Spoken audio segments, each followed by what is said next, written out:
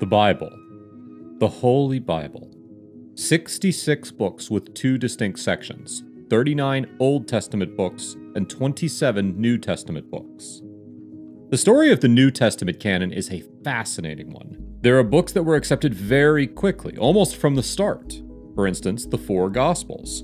And there are other books that struggled to get in. For instance, 2 Peter. And then there is the book of Revelation, the final book of the Bible, the Apocalypse of John. Few today would contest the claim that the book of Revelation stands as one of the most controversial, complicated, and misunderstood books in the New Testament. Perhaps it should come as no surprise, then, that its reception by the early church was equally complicated and controversial. No other book was more contested to be in the canon of Scripture other than the book of Revelation. But there is a blessing that is unique only to the book of Revelation. Revelation chapter 1 verse 3. Blessed is he that readeth, and they that hear the words of this prophecy, and keep those things which are written therein, for the time is at hand. Are you ready? Are you ready for the throne room of heaven? To witness the living creatures, each having six wings that do not rest day or night, saying, Holy, holy, holy Lord God Almighty, who was and is and is to come. Are you ready for the Lamb to take the scroll and to begin to open the seals, marking the commencement of the judgment of God? Are you ready for the four horsemen of Apocalypse to make their cosmic descent upon the earth? A rider on a black horse, a rider on a white horse, a rider on a pale horse, and a rider on a red horse. Are you ready for the sixth seal to be opened and for the cosmic disturbance, for the sun to become black and the moon to turn into blood, and for the stars of heaven to fall to the earth? Are you ready for the 144,000 of all the tribes of the children of Israel to be sealed? Are you ready for the prelude to the seven trumpets, where there will be 30 minutes of silence in heaven? 30 minutes of anticipation as the wrath of God is about to be unleashed without limit. During those 30 minutes, every angel, every saint that has ever lived will be in awe for what is about to happen. Are you ready for the seven angels with seven trumpets to sound? Are you ready for the first trumpet to sound where the vegetation will be struck? Are you ready for the second? Third and fourth trumpet to sound and to see an angel flying through the midst of heaven, saying with a loud voice, Woe, woe, woe to the inhabitants of the earth, because of the remaining blasts of the trumpet of the three angels who are about to sound. Are you ready for the angel that will open up the bottomless pit and that will allow Abaddon, Apollyon the destroyer, to descend into the earth with his locusts? Are you ready for the angels from the Euphrates to be released? Are you ready for the arrival of the two witnesses for them to preach and then to be martyred and then for them to be resurrected and then ascend to heaven in a cloud? Are you ready for the rise of the Antichrist and the mark of the beast? Are you ready for the three angels to be sent down to the earth to come and preach the gospel? Are you ready for the seven bowls of judgment? Are you ready for the heavens to open to see a rider on a right horse?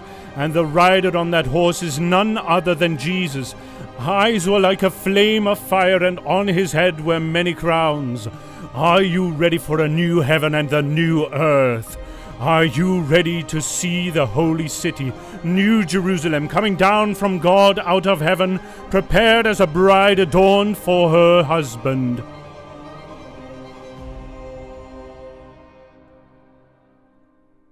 Today, we are going to focus on the second section of the book of Revelation the Great Tribulation and the Second Coming. The Bible and Jesus told us that there will be a great tribulation on earth such that has never been recorded before. The Antichrist will come into power. And what will mark the beginning of the Great Tribulation is not the rapture, but it will be when the Antichrist signs a covenant with Israel for seven years. However, the Antichrist will break the covenant halfway through the seven years. Daniel chapter 9, verse 27 gives us further insight. It reads, And he shall confirm the covenant with many for one week. And in the midst of the week he shall cause the sacrifice and the oblation to cease. And for the overspreading of abominations he shall make it desolate, even until the consummation. And that determined shall be poured upon the desolate. The Antichrist will commit the abomination of desolation and set up an image of himself to be worshipped. Those who are alive and remain during the tribulation should be watchful and recognize that this event is the beginning of three and a half years of the worst of the tribulation period, and that the return of the Lord Jesus is imminent. The Antichrist is going to enforce the worship of the beast by making life unbearable for those who try to refuse to accept the mark of the beast and those who refuse to worship it. Revelations chapter 13 verses 16 through 17 says, And he causeth all, both small and great, rich and poor, free and bond, to receive a mark in their right hand or in their foreheads, and that no man might buy or sell, save that he had the mark or the name of the beast, or the number of his name. During the Great Tribulation, the activities of the four horsemen of the apocalypse will be done on earth. Also, the seven seals of God will be opened, the seven trumpets of God will be blown, and the seven bowls of God's wrath will be poured out on the inhabitants of the earth.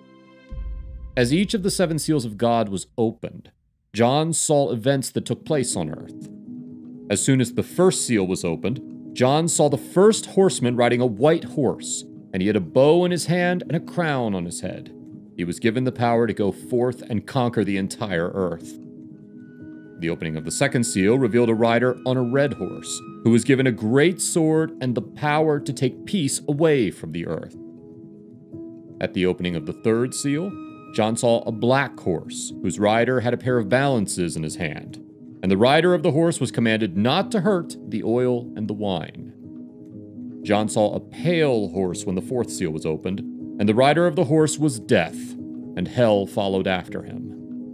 Death was given the power to kill with sword, with hunger, with death, and with wild beasts one fourth of the dwellers of the earth. After the fifth seal was opened, John was granted to see the souls of saints which had been slain for the word of God, and the testimony of God which they upheld. And they were given white robes that they should rest until their brethren which are left in the world are martyred like they were. The opening of the sixth seal caused a great earthquake on earth. The sun became as black as sackcloth of hair, and the moon became as blood. The stars of heaven fell from their heights, and great was the shaking of the heavens and the earth that even heaven was folded up. At this point, the people on earth began to look for safety. Revelations chapter 6, verses 16 through 17 says, And said to the mountains and rocks, Fall on us, and hide us from the face of him that sitteth on the throne, and from the wrath of the Lamb, for the great day of his wrath is come, and who shall be able to stand? All these things are a chip of an iceberg compared to what will happen on earth when the seven trumpets are blown and the seven bowls of the wrath of God are poured out against the earth. Prior to this happening, the church would have been raptured.